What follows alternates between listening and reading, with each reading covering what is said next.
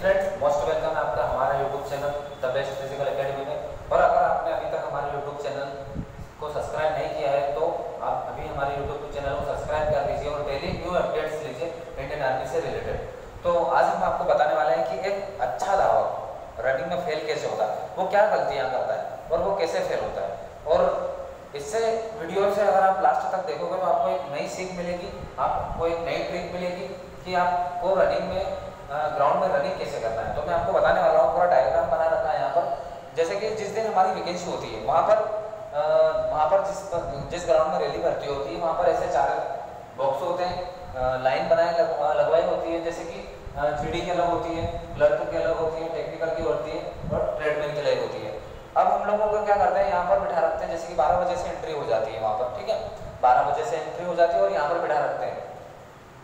मान लीजिए मॉर्निंग में पाँच बजे से अगर रनिंग स्टार्ट होती है तो वो क्या करते हैं? यहाँ से आपको ले जाते हैं। यहाँ से आपको ले जाते हैं और इस वाले बॉक्स में बिठाते हैं सारे पौधों को। ठीक है? एक तो आप यहाँ पर रात भर बैठे रहते हो। सबसे बड़ी गलती ये है जितना भी अच्छा रहा अगर रनर है, और उसके अंदर मोटिवेट नहीं है, अगर वो मोटिवेट नहीं है, अगर डीमोटिवेट है तो वो रनिंग में फेल हो जाएगा। अगर वो उसका मोटिवेशन लेवल जो डाउन अगर रहेगा तो रनिंग में फेल होना, उसके बहुत चांसेस बढ़ जाते हैं। हमेशा ये ध्यान रखना है कि हम लोगों ने जो मेहनत करी है, हम लोगों ने जो घर पर मेहनत करी, हमारा जो टाइम आया प्रॉपर वही आना है, क्योंकि जहाँ पर अपन, हम लोगों ने 1600 मीटर का टाइम अगर पाँच मिनट, दस सेकेंड निकाला है तो यहाँ पर भी सिर्फ़ 1600 मीटर ही है। और हमेशा यह सोचना है कि हम जिस जिस की तैयारी कर रहे हैं, जिस आर्मी रनिंग की तैयारी कर रहे हैं तो फिर अगर हमने घर पर पाँच मिनट, दस सेकंड का टाइम निकाला है तो हम लोगों को यहाँ पर डरने की ज़रूरत नहीं है। दूसरी बात, अगर आपके साथ में कोई ऐसा लड़का है जो डिमोटिवेट करता हो आपको कह रहे यार, मेरे से नहीं हो रहा होगा या हम लोगों से भर्ती नहीं निकलेगी तो उसके साथ नहीं रहना। अगर कोई नेगेटिव पर्सन है, आपके साथ में अगर कोई भर्ती देने आया है जो किसी तरीके से नेगेटिव है तो उसके साथ नहीं रहना। दूसरी बात, आपको ये ध्यान में रखना है कि अगर आप भर्ती ग्राउंड में यहाँ पर बैठते हो तो आपको सिर्फ़ रिलैक्स फील करना है। आपको रिलैक्स लेना है। यहाँ पर आपको नींद निकालना है, अगर आप यहाँ पर बैठे हो तो। दूसरी बात, यहाँ पर आपको मसी, मस्ती मज़ाक नहीं करना है, हँसी मज़ाक नहीं करना है और भगदड़ नहीं मचाना है। यहाँ पर आपको बैठ के रिलैक्स करना है। आपके पैरों की पैरों पर एकदम रिलैक्स देना है। दूसरी बात, एक और बात बता देता हूँ मैं आपको यहाँ पर। अगर आप यहाँ बैठे हो तो आपको टेंशन नहीं लेना है। आप, आपकी मेहनत पर अपना जो मोटिवेशन लेवल है, आप, जो आप मेहनत करके आए हो, आप उस पर विश्वास रखिए, आप ज़रूर पास हो जाओगे। अगर यहाँ पर बैठे हो तो आपको बहुत सारे लोगों को देखा है बहुत सारे लड़के क्या करते हैं कि मूव का स्प्रे ले जाते हैं या झंडू बाम ले जाते हैं या कुछ भी ले जाते हैं वो पैरों को बहुत जल, बहुत ज़्यादा तरीके से रात भर उनकी मालिश करते हैं। और मालिश करने से क्या होता है पैर बार बार गर्म होते हैं फिर ठंडे होते हैं। बार बार गर्म होते हैं और फिर ठंडे होते हैं। उसमें पैर क्या होता है कि पैर हो जाते हैं जो जाम हो जाते हैं और रनिंग में उनको बहुत सारी दिक्कत आती है। अब हम आगे चलते हैं। मान लीजिए उन्होंने सुबह उनको यहाँ से निकाला और यहाँ पर यहाँ पर बिठाया, ठीक है? यहाँ पर बहुत सारे, बहुत सारी लाइन वगैरह बिठाई है। आपको सिर्फ़ आपकी मेहनत पर विश्वास रखना है।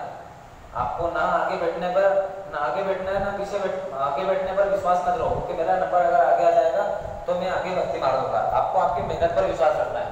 अगर आपको यहाँ पर बिठा देते हैं तो वो क्या करवाते हैं? कम से कम सौ मीटर का स्प्रिंट करवाते हैं आगे बैठने के लिए यहाँ पर यहाँ से आपकी रनिंग स्टार्ट होती है ठीक है यहाँ से आपकी रनिंग स्टार्ट होती है यहाँ पर कम से कम तीन से चार तीन सौ से चार सौ पर्सन जो भी है कैंडिडेट यहाँ पर बैठे होंगे, आपको यहाँ पर जल्दीबाजी नहीं करना है।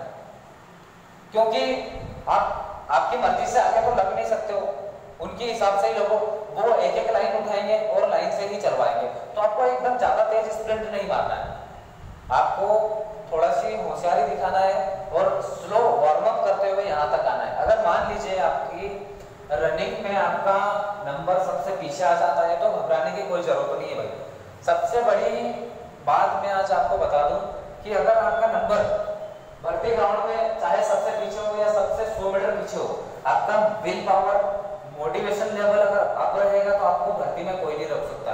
दूसरी बात, आपको क्या करना है, अगर आप यहाँ पर बैठे हो तो आपको जब भी सीओ वहाँ का अगर आपको गो बोले तो आपको इस साइड नहीं जाना है। आपको इस साइड नहीं जाना।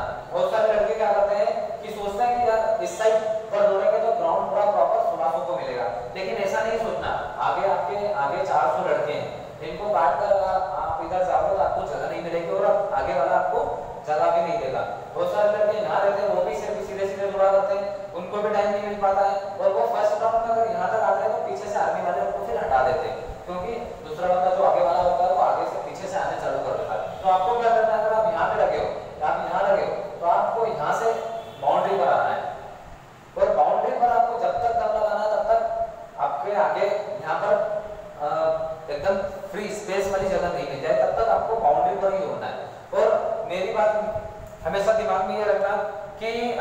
आपने मेहनत अच्छे तरीके से कर रखी है। मेहनत में अगर आपने पूरी जान फूकी है तो आपको भर्ती में पास होने से कोई नहीं रोक सकता। आपका मोटिवेशन विल पावर एकदम मज़बूत होना चाहिए। दूसरी बात मैं बता दूँ, आपको ये तो पता ही क्या है कि आपको अगर पीछे नंबर जाए तो आपको बाउंड्री पर दौड़ना है पीछे पीछे नहीं दौड़ना है है ना?